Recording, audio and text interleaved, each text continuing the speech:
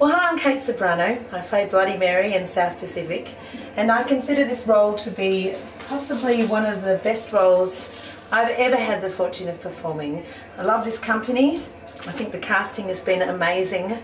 I, I feel very privileged to have been given the director uh, Bart for this Bart Sherwood because I feel he has given me an access to a portal that I haven't ever been offered in my career and that's to sort of take it beyond the music and beyond the words and the song itself and actually to recreate a person and she's sort of become a part of who I am and hopefully I've become a little bit of what she is too.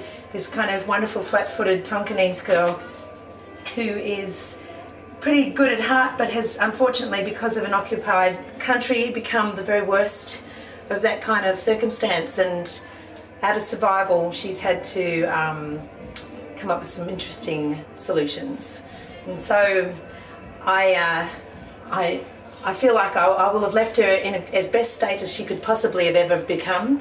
She's got humour, she's got humanity, she's got pathos, and I think um, the I think we've made the libretto come alive, and I feel very proud of that. There she is.